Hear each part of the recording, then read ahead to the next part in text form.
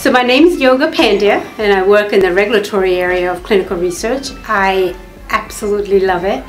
I've been in the field for 12 years and I'm hoping this is where I will retire from.